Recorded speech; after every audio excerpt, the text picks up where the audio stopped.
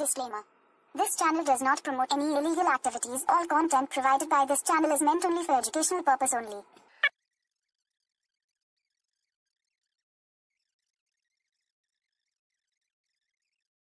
नमस्कार दोस्तों welcome to my channel creative hardware scientist और आप देख सकते हैं यहाँ पे एक ईसीएस का मदरबोर्ड है तो अभी बोर्ड पे मत जाइए अभी प्रॉब्लम पे जाइए तो ये प्रॉब्लम जो है इसका कोई भी यूएसबी काम नहीं कर रहा है पर कस्टमर ने बताया था कि इसमें डिस्प्ले ही नहीं आ रहा है। तो हमने चेक किया तो इसमें अभी डिस्प्ले आ रहा है but keyboard is not working तो हमें इसको ठीक करना है अभी। तो चलिए हम इसको ठीक करके देखते हैं और क्या क्या करना होगा। मैक्सिमम बोर्ड में ऐसे अगर प्रॉब्लम आता है तो आपको क्या करना होगा? तो चलिए हम देखते हैं। तो इसको अगर हम ऑन करते हैं तो देखिए नंबर में जो है चेंजेस आ रहा है और डिस्प्ले भी हमारा आ रहा है। डिस्प्ले आ चुका है, आप देख सकते हैं। तो अभी उधर और देखने की ज़रूरत नहीं है। और देखिए, यहाँ पे हमारा जो है कीबोर्ड यूएसबी कनेक्टेड है और यूएसबी हमारा जो है काम नहीं कर रहा है। तो अभी देख लीजिए। ठीक है? और ये हमारा कीबोर्ड है। तो देखिए, इसमें नामलग वगैरह जो है नहीं चल रहा है। तो देखिए, हम इसको कैसे सोल्यूशन करेंगे? तो मैं आपको दिखा देता हूँ। क्योंकि ज़्यादा टाइम हम बर्बाद नहीं करने वाले हैं।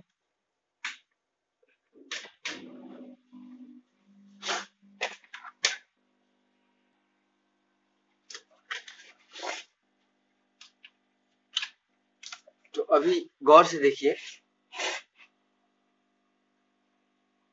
इस जगह पर कुछ कंपोनेंट आपको दिख रहा होगा। यहाँ पर। तो हम इसमें कुछ चेंजेस करेंगे। यहाँ पे कैपेसिटर बैंक है और ये एक 2.2 के का रजिस्टर बैंक है। और इसकी आजू बाजू में जो है ये कैपेसिटर भी हो सकता है, ये ब्लैक कलर का और कॉयल भी हो सकता है। तो चलिए हम देखते हैं इसमें क्या है।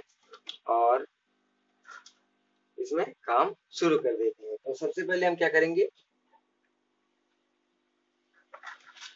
ये छोटा सा जो टाइनी कंपोनेंट है, यहाँ पे इसको हम खोलेंगे। ये हर वक्त 0.1 माइक्रोफैराड का कैपेसिटर ही होता है।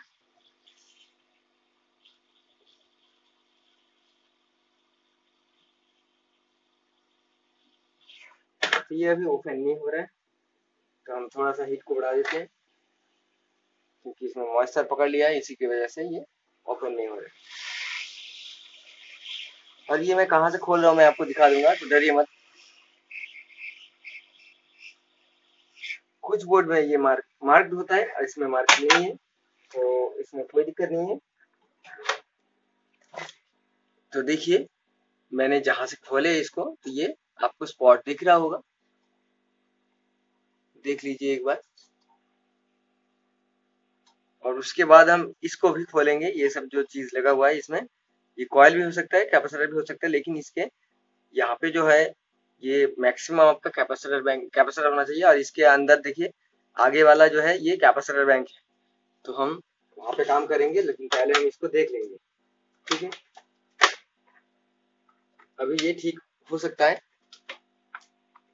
अगर ठीक हो गया तो कोई बात नहीं। और अगर नहीं हुआ है तो हम इसमें और भी कार्रवाई करने वाले हैं।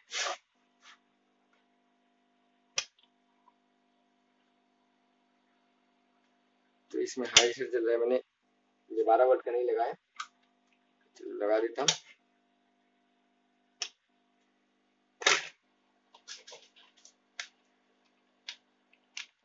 तो ये अभी भी हमारा नहीं आया है, लेकिन नहीं आ चुका है। सो so गाइस इतनी आसानी से ये हो जाएँगे मैं भी नहीं सोचा था ये बहुत ही अच्छे से आ चुका है। हाँ और एक चीज़ आपका ये आपका जो यूएसबी है इसका वोल्टेज आपको चेक करना है वो मैं करने वाले थे लेकिन पहले मैं शॉर्टकट अप्लाई कर दिया और मैं, मेरा जो है सॉल्यूशन हो चुका है आप देख सकते हैं कीबोर्ड यहीं से कनेक्ट है ठीक है? देख लीजिए ये हो चुका है और मैं आपको अभी बाईस में जाके दिखाता हूँ। तो देखिए, हम इसको क्या करेंगे? F one to run setup इसमें दिखा रहे हैं, आप देख सकते हैं। तो हम एफ़ वन को दबा देते हैं। और देखिए, इसमें हमारा जो है बायस आ चुका है। बहुत ही अच्छा बोर्ड है। और एक छोटी सी काम करने से ये आपका सॉल्यूशन हो चुका है। तो गाइज़ ये वीडियो कैसा लगा? छोटा सा वीडियो आप ज़रूर बताइएगा। और आपका प्यार हमें अगर मिलता रहेंगे तो ज़रूर आप लोगों के लिए बहुत कुछ अच्छा करने की कोशिश करूँगा। और यदि अगर आप चाहते हैं कि हमारा जो चैनल है, इसको थोड़ा सा सपोर्ट करेंगे, आप सिर्फ़ वन फिफ्टी नाइन रुपीज़ में मेंबरशिप के लिए ज्वाइन जो है, मिल रहा है तो आप लोग ज्वाइन हो जाइए। कुछ लोग ज्वाइन हो चुका है तो उनके लिए बहुत बहुत धन्यवाद। उनको मेरा नमस्कार और मेरा प्यार। और उन लोगों के लिए भी मैं अच्छा अच्छा वीडियो बना के रखा हूँ तो वो लोग भी देख रहे हैं। So thank you very much और अगर आप भी चाहते हैं कि इस चैनल का कुछ इम्प्रूवमेंट हो जाए तो आप लोग ज़रूर ज्वाइन हो जाइए। So guys thank you very much इस वीडियो को देखने के लिए। जय हिंद, वंदे मातरम।